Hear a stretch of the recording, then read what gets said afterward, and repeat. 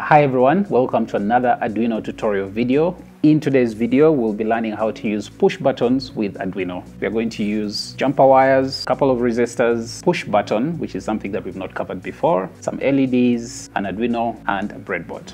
All right, so the first thing that we're going to do is connect our Arduino board to our computer. And so what we'll do is we will do our standard connection from ground to the negative of the breadboard and then from 5V to the positive of the breadboard.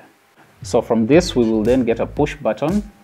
So push button is a very, very simple switch. When you press it down, it completes an electronic circuit. And what happens is that depending on how your push button is designed, you'll have metal connectors that go to the other parts of your circuit. Now, many push buttons come with something that you plug on top of your push button so that it gives it a nice tactile feel. So in this case,